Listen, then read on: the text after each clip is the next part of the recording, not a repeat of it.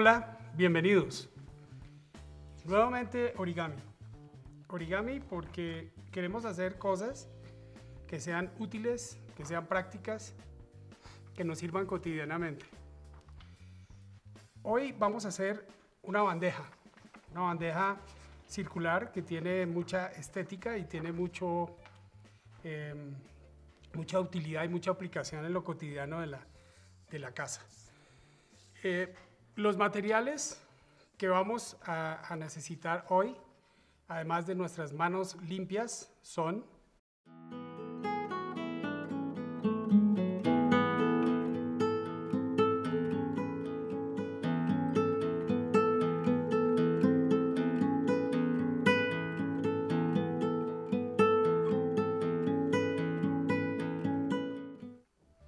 Muy bien, entonces comencemos.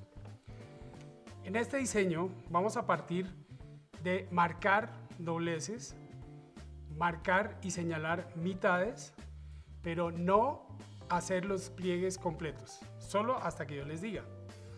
Lo primero que vamos a hacer es dejando, ustedes han visto que tenemos papel de un color degradé por un lado, blanco por el otro. Por el color degradé vamos a dejarlo por dentro y vamos a marcar la mitad. Esa marcación queremos que sea más o menos de un cuarto de la distancia. Al otro lado tomamos también la mitad y marcamos un cuarto. Marquémoslo muy bien. Fíjense que no extiendo completamente el doblez, sino que marco aproximadamente un cuarto. Abrimos, giramos y buscamos la otra mitad dejando el color degradé por dentro y marcamos del pliegue solamente un cuarto. Al otro lado lo mismo.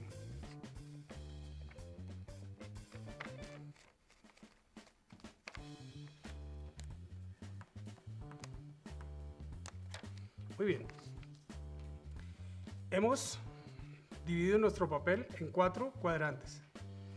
Siempre vamos a trabajar con el cuadrante que quede frente a nosotros en la porción inferior izquierda de nuestro papel. Y vamos a hacer lo siguiente. Vamos a llevar nuestro papel hasta la señal que hemos hecho en la mitad y allí sí vamos a marcar completamente. Hasta la mitad. Hasta que nos encontremos con esta con este pliegue que habíamos hecho previamente. Nos debe quedar un rectángulo en el cuadrante inferior izquierdo. Giramos nuestro papel y hacemos exactamente el mismo procedimiento que hicimos en el primer cuadrante. Vamos a llevar nuestro papel, nuestro borde inferior hasta la señal. Marcamos, pero marcamos solamente hasta la mitad. Tenemos dos rectángulos. Giramos nuestro papel 90 grados y hacemos exactamente el mismo procedimiento. Llevamos hasta la mitad y marcamos hasta el centro. Abrimos. Tenemos uno, dos y tres rectángulos nuevamente y por último giramos nuestro papel lo llevamos hasta el centro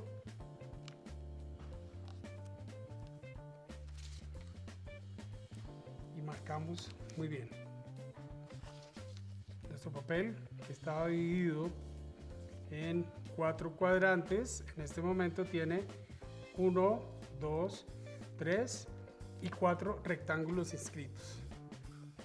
¿Qué vamos a hacer? Vamos a doblar el papel. Quiero señalar, y voy a señalar eh, con el esfero, utilizando quizás la ayuda de un papel. Quiero que ubiquen este punto y este punto de acá. Es decir, el rectángulo, uno de los ángulos, el ángulo inferior del rectángulo superior, con el, eh, la esquina izquierda del rectángulo que queda a la izquierda y abajo. Y vamos a hacer un doblez, lo voy a señalar la primera vez para que ustedes entiendan. Lo voy a doblar en valle desde ahí, desde este inicio,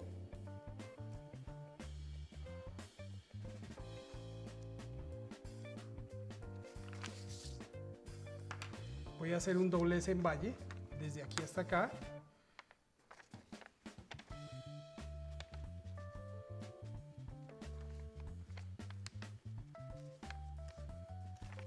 Fíjese usted bien desde aquí hasta aquí hemos doblado en valle. Y marcamos solamente esta porción. Giramos nuestro papel y hacemos exactamente lo mismo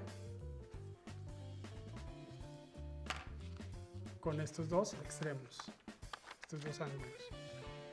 Desde aquí hasta aquí.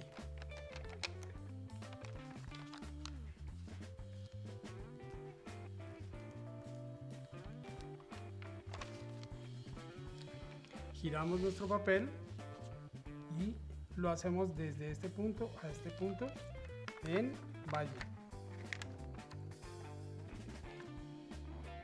Aquí hasta donde se unen estas dos líneas y marcamos muy bien.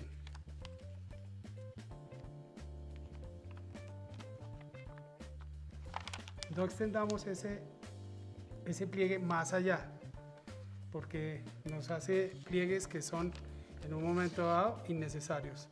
Por último, este doblez que falta para terminar esta secuencia.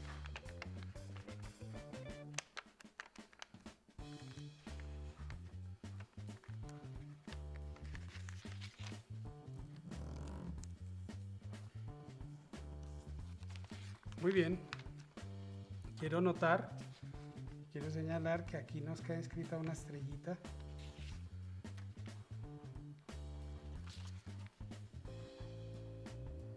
Quiero que ustedes la ubiquen en casa y se den cuenta que vamos por buen camino. Muy bien. Vamos a rotar nuestro proyecto y vamos a buscar nuestro, em, nuestro eh, objetivo. Vamos a trabajar sobre el lado blanco y vamos a llevar el primer rectángulo del cuadrante inferior derecho, lo vamos a rotar, lo vamos a doblar hasta ahí, hasta donde está doblado. Y en este punto, en este ángulo que se nos acaba de formar, este ángulo de acá con este, Vamos a hacer lo que se llama bisectar el ángulo. Vamos a dividirlo en dos. Vamos a llevar este borde contra este pliegue.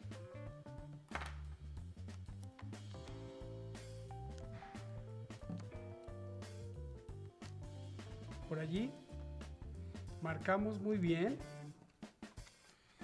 y subimos este pliegue que ya está predoblado.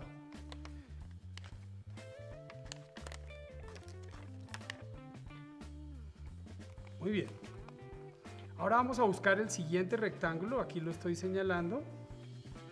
Vamos a doblarlo en valle, vamos a doblarlo hacia arriba. Vamos a bisectar este ángulo.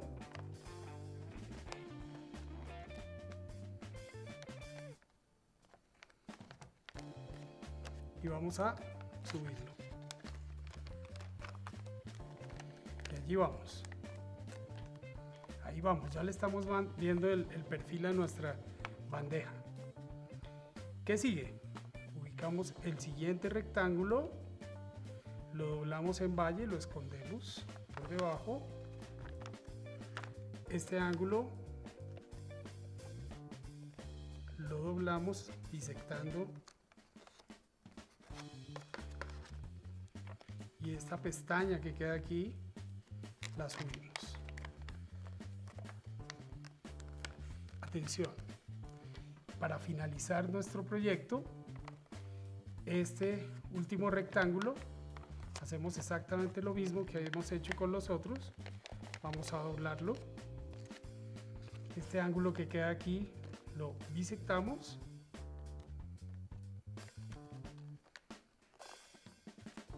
y esta pestaña la subimos.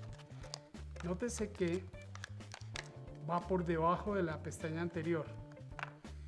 Y con mucho cuidado vamos a tratar de moldear, de darle una forma curva a cada uno de los pliegues recientemente hechos y vamos a moldear el fondo de nuestra caja. Por debajo ustedes pueden observar el patrón que queda, que le da estabilidad con estas puntas que están levantadas al mismo nivel y nos deja una caja perfectamente estable y con capacidad. Espero que haya sido claro, espero que hayan aprendido, eh, espero que en el proceso del aprendizaje del origami ustedes sigan eh, insistiendo en eh, aprender cada día más cosas que como ven son sencillas, que no necesitan, no necesitan de em, pliegues demasiado avanzados ni demasiado difíciles, que son pliegues supremamente eh, elementales y que nos dan unos resultados eh, bastante satisfactorios y bastante ceñidos a lo que necesitamos cotidianamente. Esto tiene su aplicación en la casa, en la oficina, en cualquier momento, utilizando envolturas, utilizando forros de, distintos eh, elementos, todo tipo de papel nos permite hacer este tipo de diseños. Espero que les haya gustado y espero que nos veamos muy pronto también en, una próxima, eh, en un próximo proyecto de origami. Muchísimas gracias.